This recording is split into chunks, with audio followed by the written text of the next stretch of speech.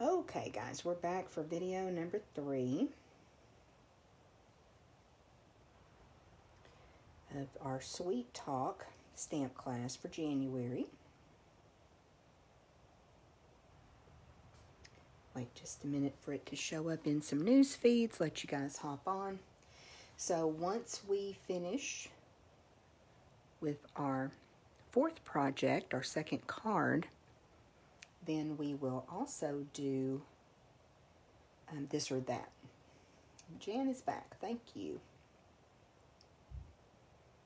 Okay, as you hop on, if you'll just say hello, let me know if the sound is okay, video running okay. We are having um, technical issues this morning, but we are working through it. And LaDonna's back. Hello again. I think this wind, I don't know um, how high the wind is blowing, like how many miles per hour, but it, in this old house that we live in, it sounds horrible out there. Lisa's back. Welcome back, everybody. Sherry's back. So hopefully everyone will have everything they need in their kit this time. If not, just let me know. Okay, thank you. Joanne's back. Got a good group back. Okay, let's go ahead and get started with this last project. And then, like I said, we're going to play this or that, which has always been a lot of fun in the past. Um, and I think it's going to be fun this time, too, with some super cute products. Okay, so this is our final project in our stamp class. And this is a very simple fancy fold or fun fold and it has a belly band. So this is just a three quarter inch by 11 piece of real red cardstock that we just fold around the card. But isn't this fun you guys? Just a super cute way to show off a couple of designer series papers. You could certainly add some other decoration there if you wanted to but I thought this just turned out really cute quick and simple with the little belly band too. So featuring is that showing? Will you pull that back up, please, Dee? I had to plug my phone in. Thank you. Um, so, featuring the hearts, the scalloped, and then the regular heart using these heart punches. And I know many of you have these still from last year, so don't forget to pull those out and um, use those with these new products. Okay, so we will go ahead and pull out supplies. Now this time you don't have a bunch of little pieces. They're all good sized pieces. You do have some of the iridescent rhinestones though, so that you can embellish at the end. Do you see that stamp set, Bill? Yes. Um, I was going to show too. There's lots of heart images. I probably haven't really done the stamp set justice with this class. I typically like to use more stamps but many of these would be really, really cute stamped on your envelope or on the inside of your card. So don't forget that you've got lots of different images, little hearts that you could use if you want to do some stamping. So this is just an 11 inch by four and a quarter um, card base. It's out of petal pink. And then I cut off, I want to say an inch and a quarter um, LaDonna, yours may have an inch and a half cut off, but it's still going to work just fine. Okay, so we'll burnish on the score line, which is five and a half. Then I think we'll do the inside portion first.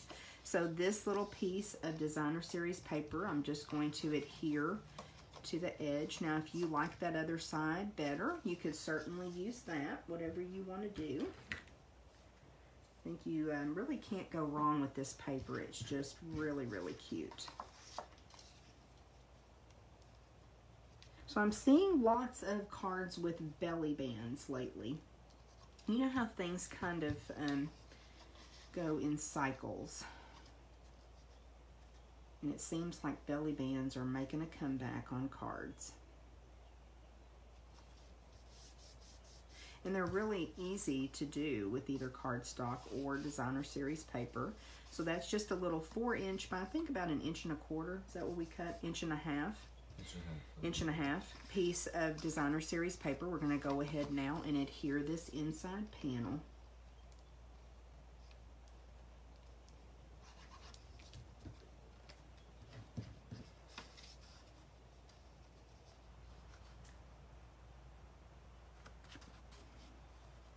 So we have both Blushing Bride and Petal Pink in this designer series paper.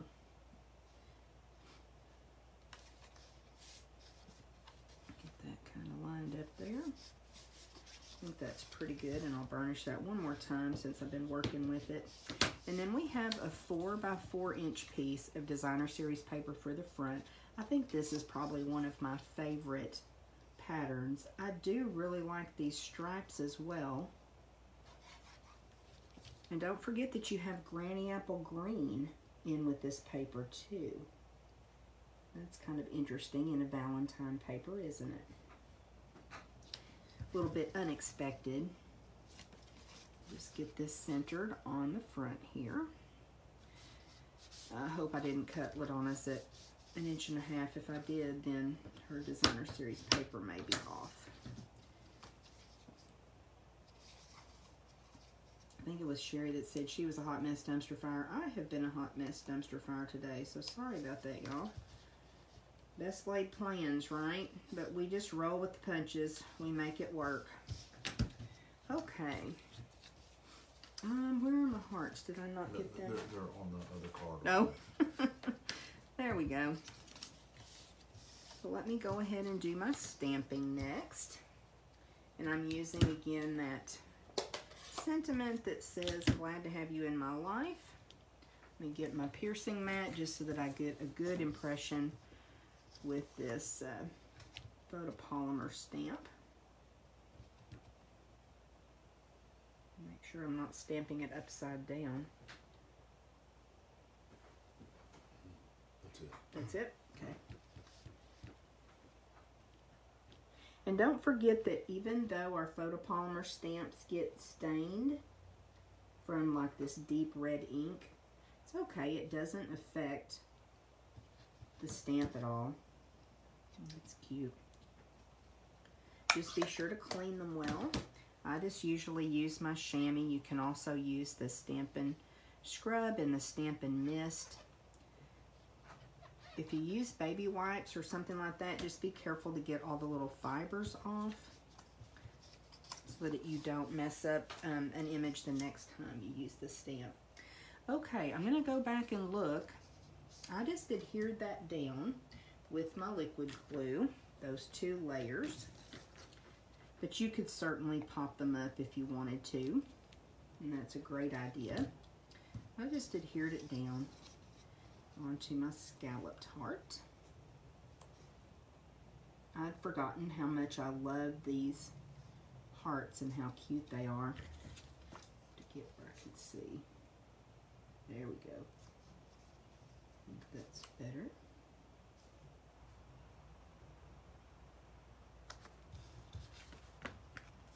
We used these punches a lot last year. Okay, so for the belly band, all I did, because the 11 inches is not quite long enough for it to meet, but we can still make it work.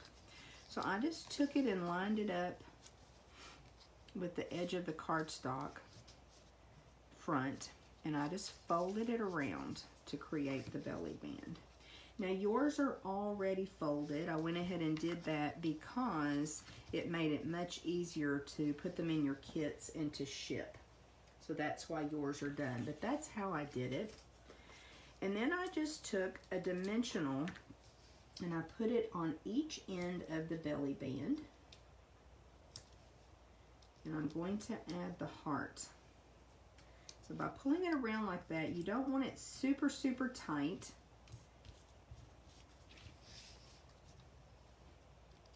You want to be able to remove it and put it back on.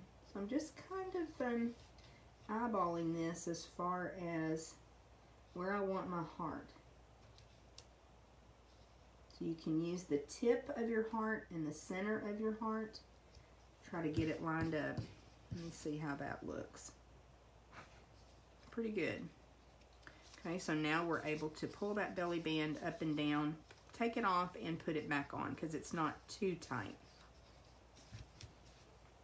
And we're showing off that designer series paper. Okay, now you want to grab your iridescent rhinestones. Who else loves these embellishment. This is truly my favorite. Anybody else love them? We're just going to add, I don't know if those are the large ones. These They may, are. they are, mm-hmm. okay. Mm-hmm. I just put three on there. Just as a little accent, a little bit of sparkle. But you can put them however you would like them. Jan said she loves them, or she she says I do too. Yes, they're awesome. So sparkly. And um, Lisa says I just love these things. I Love think- the bling. Uh, excuse me, the bling. The bling, yes, I love bling too. Y'all know I always say, "Ooh, that is wonky wonky." Shiny is my favorite color, and these are just so sparkly. They've really done a good job with embellishments in the last couple of catalogs. I think. What do you think, Bill? Does that need to be adjusted? Let Bill take a look at it. I'll show you the one that's already adjusted, but they're just so sparkly. They make me happy. But that's how quick and easy a Valentine card can be. And because they're iridescent, you can put them on almost anything. You really can, and that's what I love. That still looks wonky, but that's okay. I love that it picks up the color of, um, you know, the colors around them when you use them. So it kind of makes it almost look like a little bit different embellishment. You could certainly add color to them with Stampin' Blends. We haven't tried that yet, but that's something that I think would be fun. So speaking of Stampin' Blends, you may have seen that Stampin' Up! is coming out with some natural tone Stampin' Blends. So if you love our alcohol markers, be on the lookout for customers. Those will be available, I think it's the 2nd of February. Um, so really cool that they're coming out with this like kind of skin tone, basically, those natural blends. And then I also want to let you know that today is the last day to sign up for Stampin' Bingo. So I know several of you that have been watching this morning are already registered, so thank you. We're going to have so much fun. We're going to use the Rainbows of Happiness suite. And so today's the deadline. So if you want to play bingo with us on the 29th at 6:30 p.m., be sure and message me, okay? All right, let's do some this or that definitely let me know if you have any questions about stamp class today. Would you grab the supplies for this or that, please? Um, I did go ahead and post the measurements and score lines for you for that second treat holder, the Highland Heather treat holder. But if you have any questions, need any help with anything, just reach out to me. We're bringing over supplies for this or that. So, we'll get started with that here in just a second. So get ready to vote. If you have not done this or that with us before, basically you're going to be voting on the supplies that we use for the project. So we're going to have a bonus project for stamp class and you get to vote. Joanne wants to know how to order the pens, The pens, the the the, the markers. The markers. Um, for demonstrators right now, I can send you the item code, Joanne. For demonstrators, they're on pre-order. Um, so that's a great point. So if you are not a demonstrator and you would like to get your hands on those blends now, you can join Stampin' Up! and um, I can help you with that as well. We'd love to have you on our team. You could add those to your starter kit. If you are a demonstrator, you are able to order them early. And Joanne, I will I'll post the item code for you and I'll send it to you. But yes, you can get them now. Okay, first thing you're going to vote for is our card base. So would you like a real red card base or would you like a Highland Heather card base? And while you guys are voting, I'm going to go ahead and fold these card bases on their score lines and I'm going to add a basic white panel to the inside. So would you like real red or would you like, oh, that's not a card base.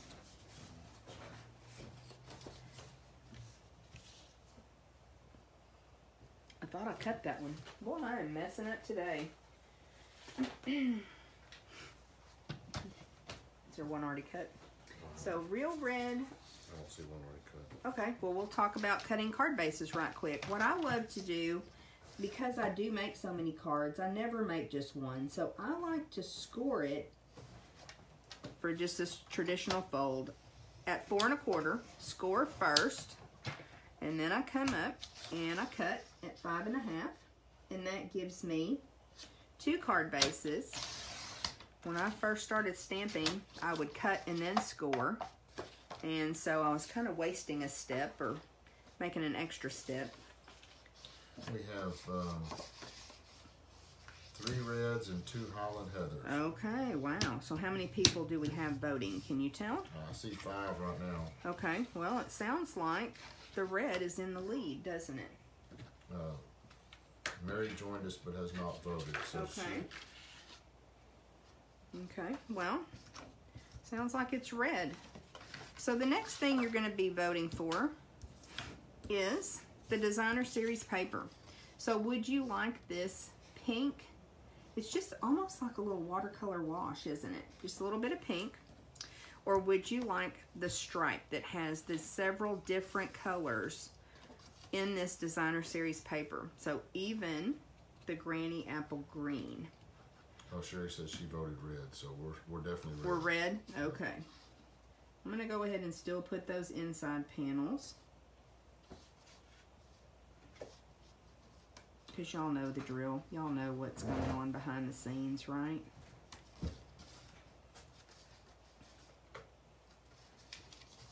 Okay, so we've got this red one, and that's what we'll be using. So let us know, would you like the stripe?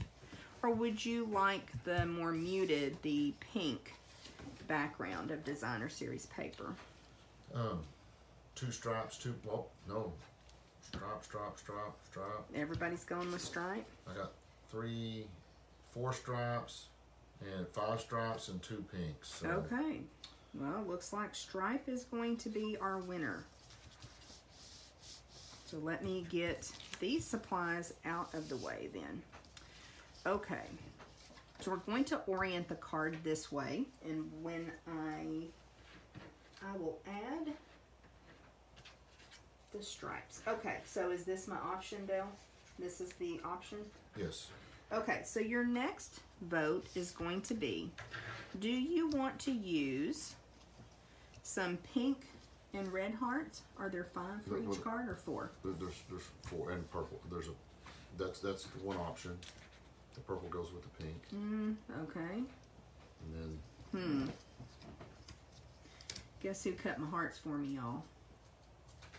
Okay, so the next option is do we want to do um, do we want to do the pink, red, and purple? Or do we want to do yellow, blue, and green? What would you like to see? Which hearts would you like to add?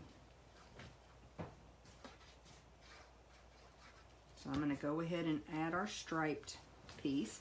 Now this piece is um, five inches by three and three quarters.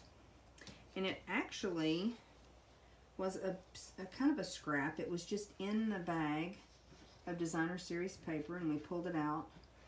I don't think that is three and three quarters actually. pink, red, and purple is running away. ahead? Yeah, it's just Okay. running away with it. Okay, so this is a wonky cut. So I wanted it to be um, five by three and three quarters. It looks like it's five by four. It'll work. Gives a little bit bigger border on either side. But you know, today we're just going with it. we're just going with it, y'all. So I want to tell you about a little trick that I just learned. Um, sometimes when you cut your paper, you get kind of what would you call it, like a ridge on Yes. the back side. And for some reason, when I cut um, recently, and, and I just had a new blade, it was cutting a little bit different, and it left a ridge on the back. Take your bone folder and run across that, and that will smooth that out. So you can do that with your cardstock. You can do it with your DSP as well. So we're I'm using these. Is that No, correct? you- No, you're using. Let me have those. These. Yeah, I get Okay, those. so I'm using pink and purple and red. Yes. Okay, so I need some dimensionals. And then the last thing that they're going to vote on is my ink colors, right? Right. Okay, so Well, you, would got, you got three on this one. okay, would you like your sentiment, which is going to say Happy Valentine's Day, would you like it in Granny Apple Green? Would you like it in Highland Heather or would you like it in Real Red? So those are your options for ink colors as I add our hearts. So I'm going to use dimensionals on these. And I watched a demonstration, know, we do um, demonstrator events. It's called On Stage that Stampin' Up hosts back in November. And my friend um, and fellow demonstrator, Robin Carden, showed this cute little layout. So give her credit um, for this idea. And it's really cute. And you could cut these hearts from any color of cardstock. You could cut them um, from Uh, designer series paper. Just so fun. One green, three reds so far. Okay.